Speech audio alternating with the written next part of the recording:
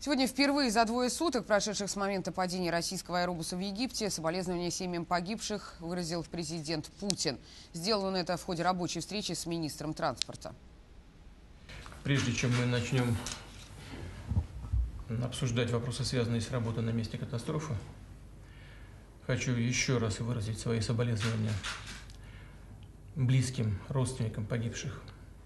Это огромная трагедия – и, безусловно, мы и сердцем, и душой вместе с вами. Хочу поблагодарить петербуржцев за такую реакцию, которую видит вся страна, всех жителей России за слова соболезнования и за, за сопереживание. В такие трагедии и в такие часы, безусловно, очень важно чувствовать плечо близких людей, сопереживание всей страны по поводу этой ужасной катастрофы.